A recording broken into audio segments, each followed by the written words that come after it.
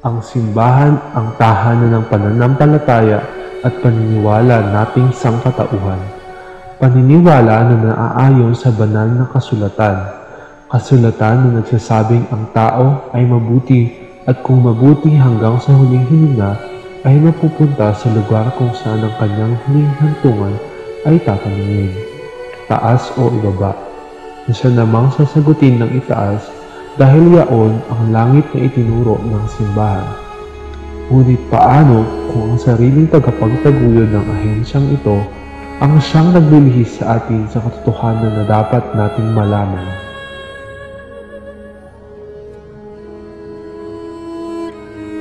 Hindi tama ang tinuturo ng simbahan.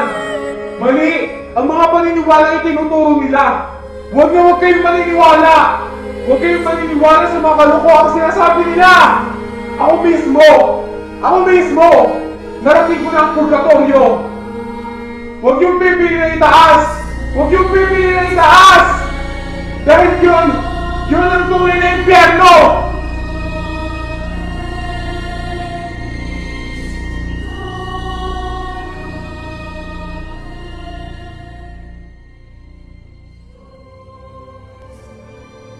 Ako si Hiling, isa akong historian. Oo, sobrang boring ng buhay ko.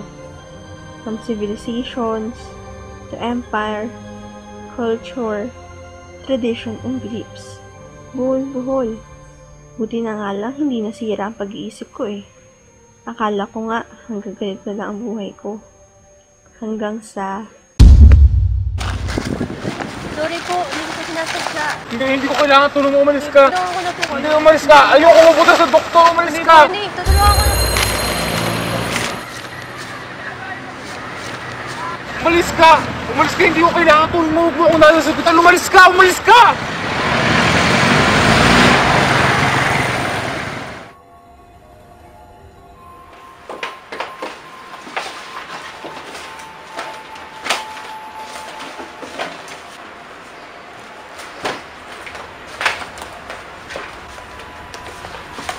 Bakit wala? Bakit wala dito? Ang posible ngayon ka akong hindi pag-aralan. Bakit wala? Hindi kaya...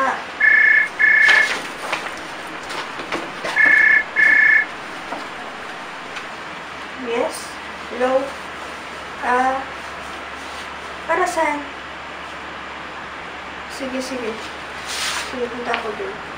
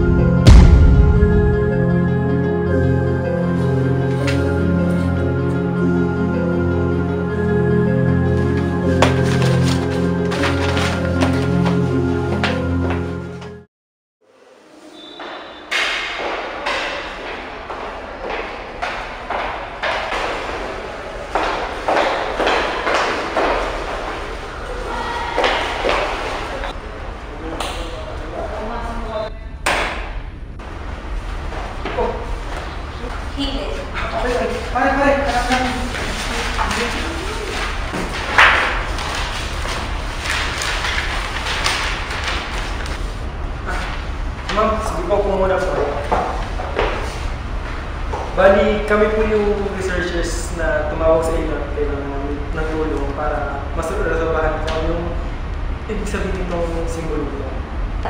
Wala rin ako alam dyan. Pero, nakita ko yung kanina nga po.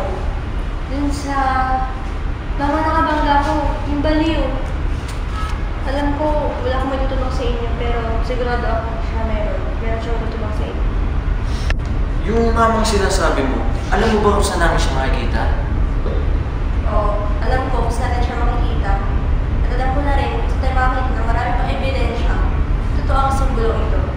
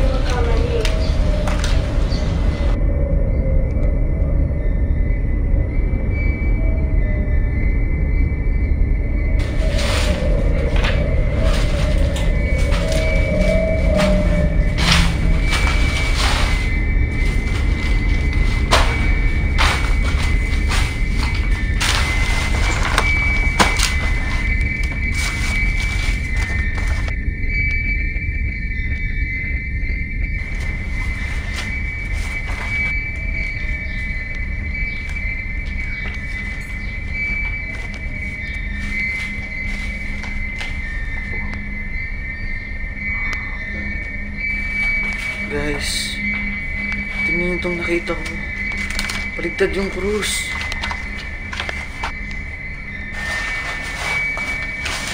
Ito nga yun. Ito nga. Sino may dala ng Biblia? Yung ginagamit ngayon. Ako, ako meron ako dito. Yung sulat dito, oh. Nagsimula ya ang mundo. Napulos kadiliman. Sa sananas ang naghari. Sa buong sanlibutan. Impyerno ang daigdig na ginagalawan. Hindi naman yan ang nakasulat dito sa Biblia na ginagamit natin ngayon eh. Ang sabi dito, ang unang nilikha ay ang liwanag. Yun nga. Kaya nga baka ito yung tunay. Kasi, oh, ba't ngayon walang liwanag? Siguro nga ito yung totoo. Kasi, kasi bakit ito nakilaw ngayon sa mundo? Hindi naman lagi natin tinatanong, di ba? Kung bakit ito nang ilaw?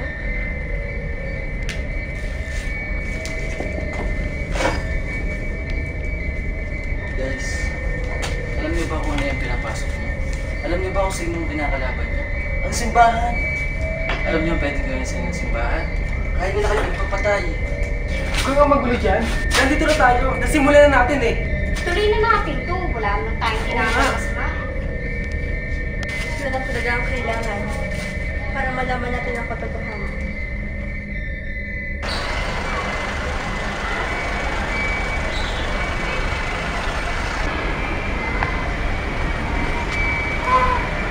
Guys, tara, doon tayo.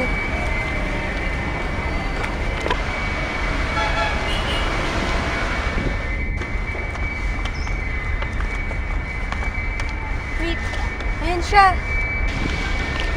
Sigurado, sigurado ba siya yan? Mukha naman sintong-sinto yan eh. Hindi siya yun. Siya yung nang sa araw. Sige, sigurado ka doon. Oo, siya yun. Uy, uy, uy!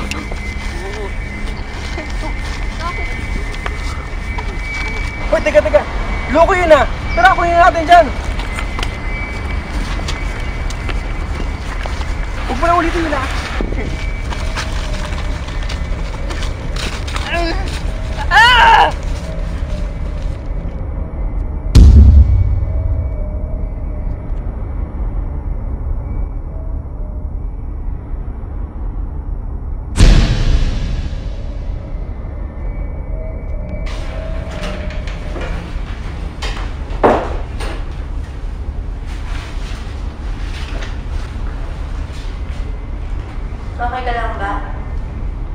Ako nga pala si Helen. May mga inatanong na ako sa'yo. Ano nga pala ang pangalan mo?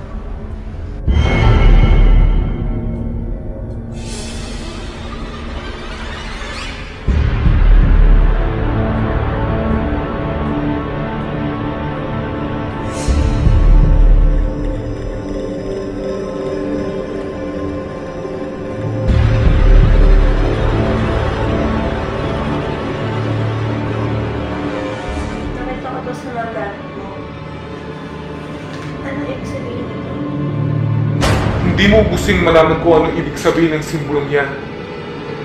Yan! Yan ang nakita ko sa purgatorio. Bakit? Ano ibig sabihin nito? Ano ibig sabihin ng simplong ito? Yan! Yung simbolong yan! Yan ang nagpapakita na baliktad ang langit at impyerno. At mali ang tinuturo na simbahan. Mali. Mali ang pinapakita nila. Simbahan? Simple lang. Dahil mga sakim sila. Sakim! Gusto nila na sila lang ang makarating sa langit. Nakapunta na ako sa purgatorio. Nakita ko ng mga santo, ang Diyos, si Satanas, at ang masasamang espiritu. Si kamatayan, at hindi hindi ko makakalimutan ang itsura niya. Nakita ko siya ngayon. Nakita ko siya ngayon sa tabi mo.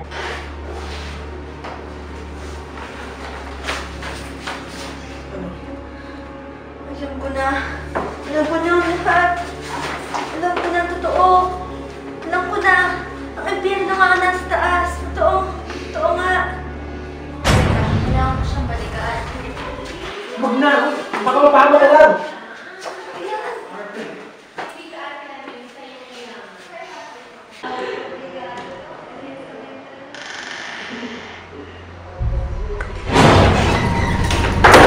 Pilitin mo makabalik para mapatunayan mo.